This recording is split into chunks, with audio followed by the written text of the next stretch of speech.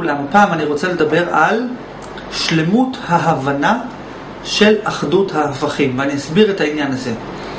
אחת מהשאלות שהרבה פעמים בן אדם שואל את עצמו, האם הבנתי את המציאות בשלמות? האם כבר הגעתי להבנת המציאות בשלמות, כן או לא?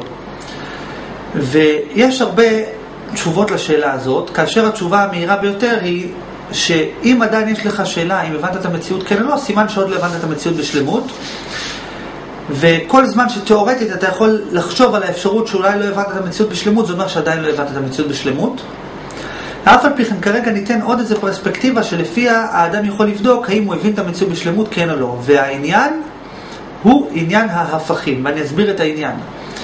מה זה נקרא להבין את המציאות? להבין את המציאות פירושו, לדוגמה, שבן אדם מסוגל להסביר מה הסיבה הראשונה של כל התהליכים, שאדם מסוגל להסביר למה יש רע בעולם, שאדם מסוגל להסביר מהי תכלית החיים, שאדם מסוגל להסביר מה זה התודעה העצמית, שאדם מסוגל להבין את המציאות, שאדם מבין את המציאות, מסוגל להסביר אותה.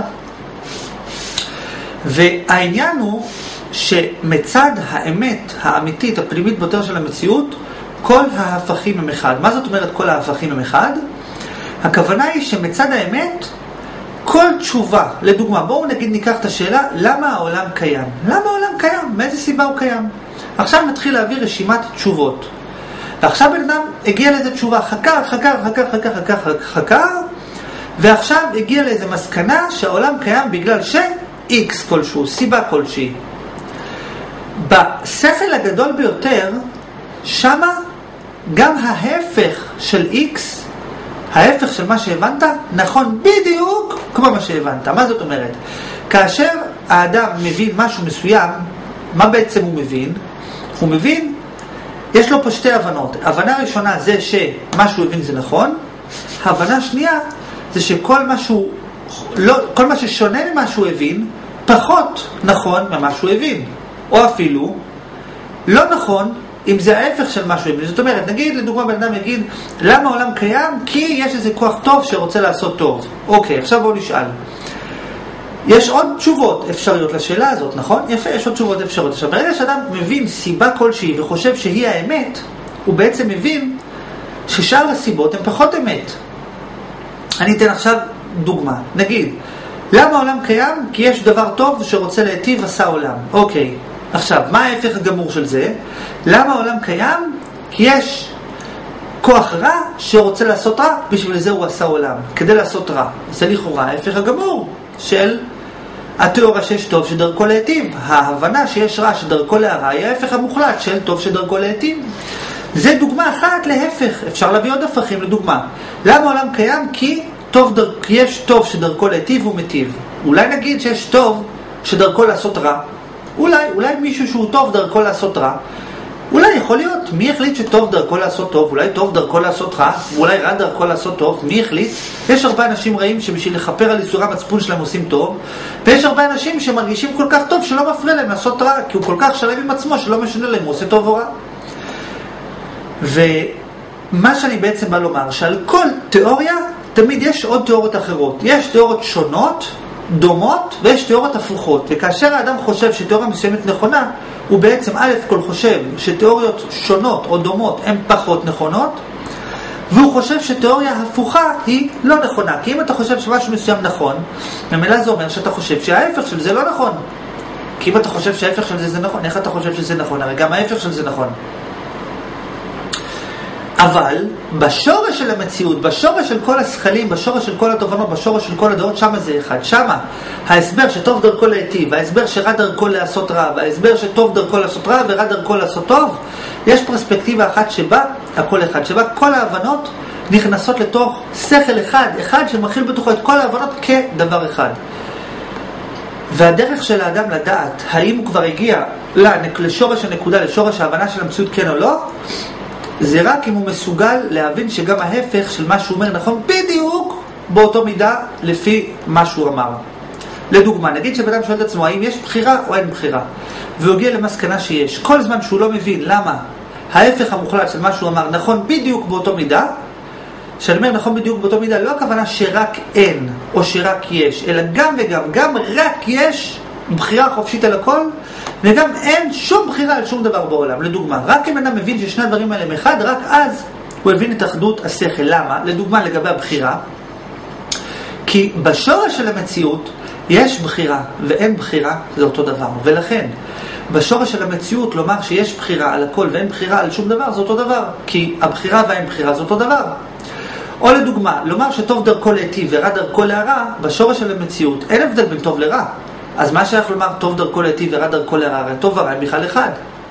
מה שאני בעצם בא לומר, כאשר בן אדם רוצה לבדוק האם הוא הבין דבר כלשהו בשלמות כן או לא, פשוט שיבדוק האם הוא מבין שגם ההפך של מה שהוא מבין נכון בדיוק באותו מידה. פשוט אדם צריך לקחת את מה שהוא מבין, לשאול את עצמו, טוב, מה ההפך של מה שאני מבין? יפה, האם ההפך הזה נכון בדיוק, בדיוק באותו מידה כמו מה שאני מבין? האם כל הדעות השונות בעולם, כולל כל הדעות השונות בעולם, נכונות בדיוק באותו מידה כפי מה שאני מבין? כי אם לא, עוד לא הבנת את המציאות. כי המציאות מכילה בתוכה את הכל, את כל הדעות השונות. והדעה שלך שמשהו מסוים היא רק אפשרות של המציאות. זאת אומרת, יש מציאות שמכילה בתוכה את כל האפשרויות המחשבתיות, ואחת מהאפשרויות זאת האפשרות שבה אתה חושב, אבל זו רק אפשרות, זה לא מוחלט, זה רק אפשרות, מה שאתה חושב הוא רק אפשרות. אבל בשורש של המציאות, במהות, שמהווה את כל הרעיונות. זאת אומרת, יש חשיבה שאומרת ככה, וחשיבה שאומרת ככה, וחשיבה שאומרת ככה. ויש את המהות של הרעיונות, ובמהות של הרעיונות אין הבדל בין החשיבה הזאת לחשיבה הזאת, כי ההבנה, לדוגמה, שיש בחירה וההבנה שאין בחירה, הם רק ביטוי של משהו אחד. יש משהו אחד שהוא פעם מתבטא בשכל שיש בחירה, פעם מתבטא בשכל שאין בחירה. פעם הוא מתבטא בהבנה שיש משמעות, פעם הוא מתבטא בהבנה שאין משמעות, פעם הוא מתבטא בהבנה שהכל טוב. פעם הוא מתבטא בהבנה שהכל רע. וכאשר אדם מגיע לשורש של המציאות, איך להגיע לשורש של המציאות? על ידי שהוא שואל את עצמו למה. מה הסיבה שהדבר הזה נכון והדבר הזה לא נכון? הוא לוקח שני רעיונות ומתחיל לעשות עימות ביניהם, בעין, ש- שהדבר הזה, העימות הזה בעין, יוצר לו עימות באלף. הדבר הזה מאמת את הדבר, וכאשר אדם לוקח איזה רעיון, האם ככה או ככה, ומתחיל לבדוק, רגע, למה זה ככה, למה זה ככה?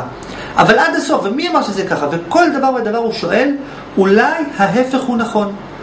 כל טיעון, כל סיבה, כל סברה, הוא שואל מי אמר, אולי ההפך זה נכון, אולי ההפך זה נכון, אולי ההפך זה נכון, והוא לא פחדן ושקרן שמפחד לשאול אולי ההפך הוא נכון. כי השקרנים והטיפשים והאומללים והמסכנים מפחדים לשאול אולי ההפך זה נכון, למה? כי אולי הם יגלו שהם טועים. האדם מת מפחד לשאול, הוא נגד אנשים ששואלים שאלות, למה? כי הוא שקרן, כי הוא נוכל. הוא מסכן, זה גם נכון, אבל הוא, הוא בגלל שהוא מסכן, הוא משקר. כי הוא פחדן, הוא לא מבין את המציאות, רע לו בחיים, אז הוא המציא איזה תיאוריה, והוא נאחז בעלי הקש שלו, בעלי התאנה, והוא לא מבין שהדבר הזה הוא חסר כל, כל, כל, כל ודאות. אבל על ידי שאדם לא מפחד לשאול אולי ההפך זה נכון, ומטיל ספק, בכל דבר ודבר מטיל ספק, בכל דבר, אפילו מטיל ספק בשכל האנושי שלו, אפילו מטיל ספק בזה שהוא מטיל ספק, אולי לא צריך להטיל ספק. שאל כל של עד הסוף. בסופו של דבר האדם מגיע לוודאות המוחלטת, ואז הוא מבין שכל הרעיונות הם אחד, ואז הוא רואה את אותו שכל שורשי, שבו כל הדעות השונות מסכימות אחת עם השנייה, ואז הוא יודע שהוא באמת הגיע לשלמות ההבנה, כי שמה כבר אין הפך. כי גם ההפך של מה שאתה מבין הוא זהה בדיוק למה שהבנת. שמה בשלמות ההבנה לא שייך להגיד אולי לא הבנתי, כי לא הבנת מה. אם זה אחד, אם, לדוגמה, נגיד בן אדם שואל את עצמו, האם יש משמעות, לה, האם יש משמעות לחיים, כן או לא? אם הוא מגיע להבנה שמשמעות וחוסר משמעות זה אותו דבר, אז ממילא לא שייך לשאול מה משמעות החיים, כי משמעות ואין משמעות זה אותו דבר. ועכשיו הוא יכול לשאול, רגע, אבל מי אמר אולי משמעות וחוסר משמעות זה שני דברים שונים ולא אותו דבר?